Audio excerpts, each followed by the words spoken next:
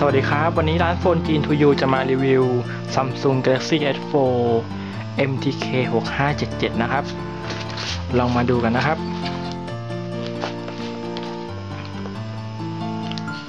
ก็เปิดมาก็จะมีตัวเครื่องนะครับ ขนาดหน้าจอ 5 นิ้วครับ ภายในกล่องก็ยังมีคู่มือครบเซตครับผม เหมือนเครื่องศูนย์แท้นะครับ มีแบตเตอรี่ให้ 2 ก้อนนะครับ มีหูฟัง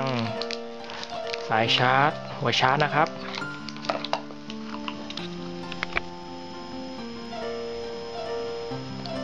เราเรามาเปิดเครื่องกันนะครับ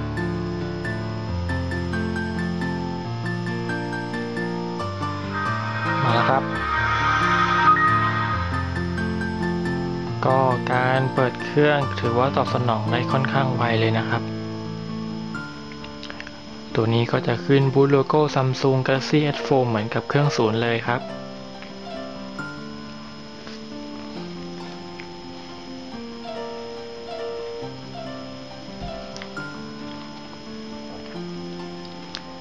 มาแล้วครับ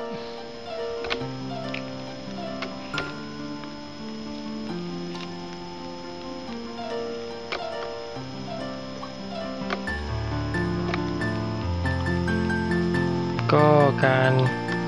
ตอบสนองก็ถือว่าไหลเลื่อนตามมือนะครับผม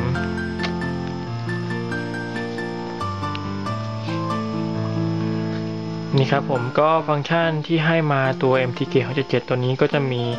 Adjuster Air View นะครับผม ที่สามารถใช้ได้นะครับ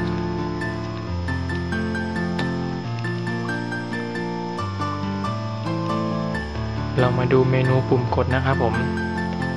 นี่ครับ ก็เมนูปุ่มปุ่มกดโทนสีหรืออะไรก็เหมือนกับเครื่องศูนย์เลยนะครับ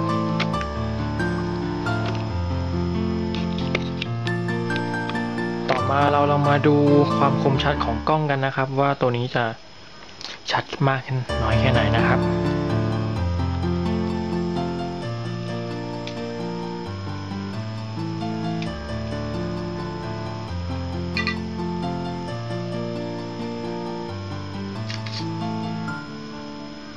ครับ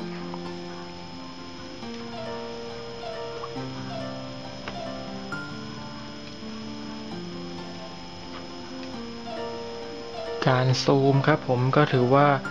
ถ่ายได้ชัดเลยนะครับ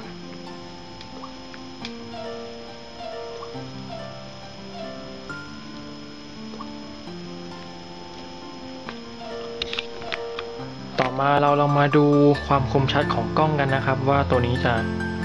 ชัดมากน้อยแค่ไหนนะครับ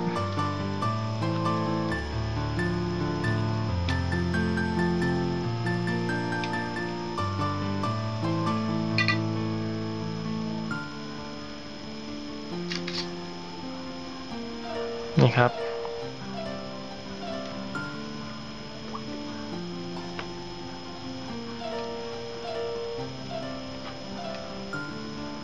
การซูมครับผมก็ถือว่า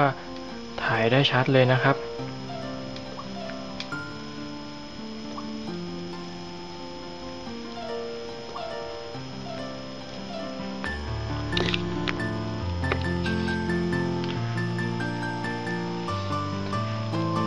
ต่อมานะครับเราก็ลองมาดูการเข้าเน็ตกันดีกว่าครับ ก็เครื่อง MTK 577ตัวนี้ก็สามารถ เล่น Facebook เล่น Line โหลดแอป Store ได้เหมือนกับเครื่องศูนย์เลยนะครับ นี่ครับ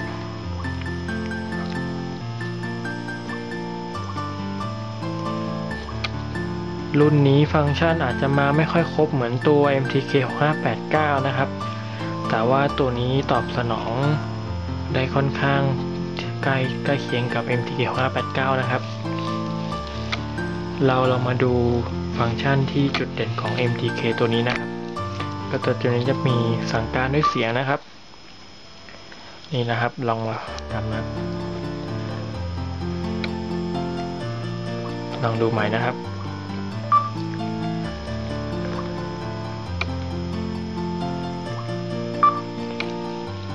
Hello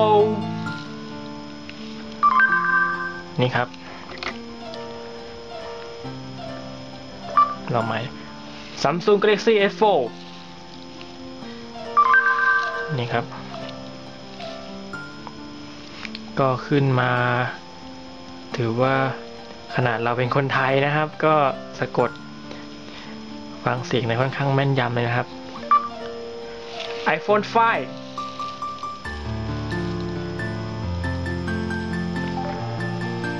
เอาใหม่นะครับ ไม่ได้ยินนะครับ iPhone 5 นี่ครับ ก็ค้นหาอะไรก็สามารถสั่งการได้ด้วยเสียงเลยนะครับ ไม่ต้องพิมพ์นะครับผมโอเคครับ ต่อมานะครับเราลองมาดู GPS นำคะนำทางกันดีกว่านะครับ ผมว่าตัวนี้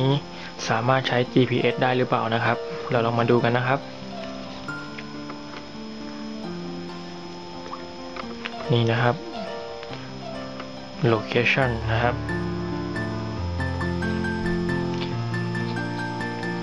ก็สมมุติถ้าเราอยากไปร้านอาหารนะครับ เราแล้วก็ลองดูนะครับ ผมว่าร้านอาหารใกล้ๆ แถวที่เราอยู่มีร้านไหนบ้างนะครับ เราก็ลองดูแล้วเราก็ลองกดดูนะครับ นี่ครับ ก็จะมีข้อมูลของร้านอาหารนั้นๆนะครับ ผมว่าอยู่ ไกลจากเรามากน้อยแค่ไหน จากที่ผมกดดูตัวนี้ร้านอาหารก็อยู่จากห่างจากผมก็ประมาณ 700 เมตรนะครับ ถ้าเราไปไม่ถูกเราก็สามารถใช้นำทางได้เลยนะครับ ก็จะมีให้เลือกว่าจะนำทางแบบไหนนะครับ จะมีรถยนต์ รถเมล์หรือว่าเดินมานะครับสมมติเราไปรถยนต์นะครับ นี่ครับ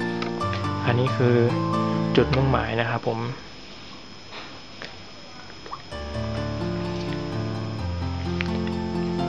นี่ครับถ้าเรายังขับรถเราก็สามารถวางไว้ที่หน้ารถแล้วเราก็ขับตามเส้นทางที่บอกไว้ได้เลยนะครับนี่ครับสามถือว่าบอกได้ค่อนข้างละเอียดเลยทีเดียวนะครับ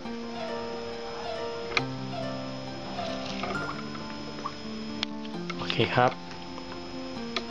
ต่อมานะครับเราลองมาดูการใช้งานอินเทอร์เน็ตกันนะครับ ว่าตัวนี้ใช้งาน 3G ได้ไวแค่ไหนนะครับ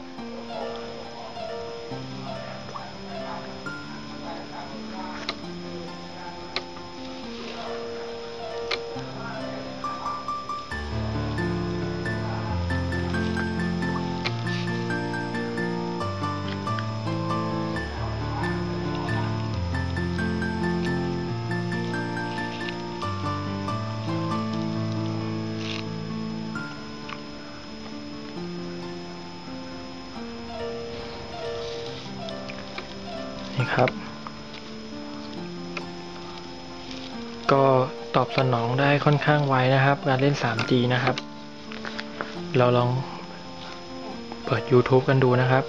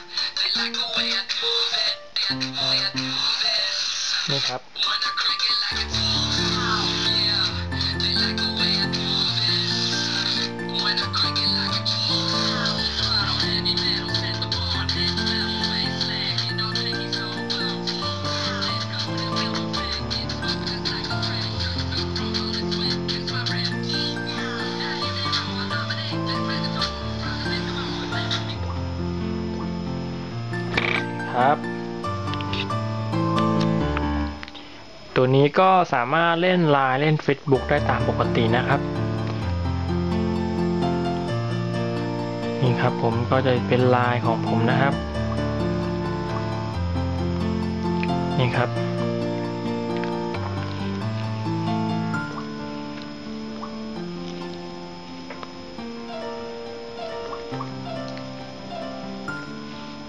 เรามาดู Facebook นะครับ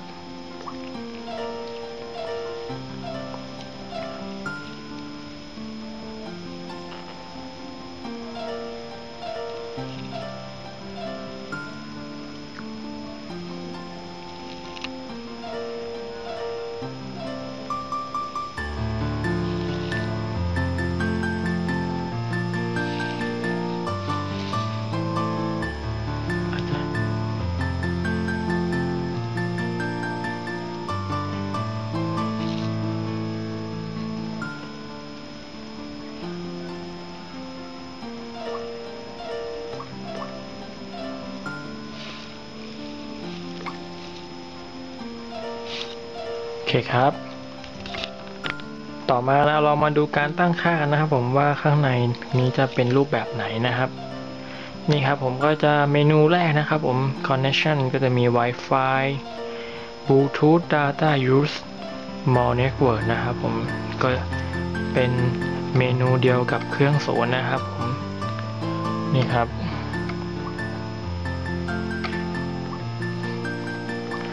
ตัวนี้ก็แรงเกต นี่ครับก็รองรับได้หลายภาษานะครับ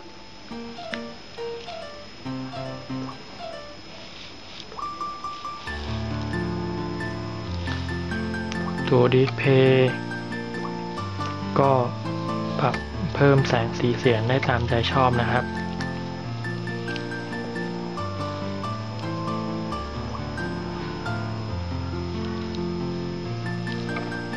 ตัวนี้จะเป็นไฟฉายนะครับผม นี่ครับ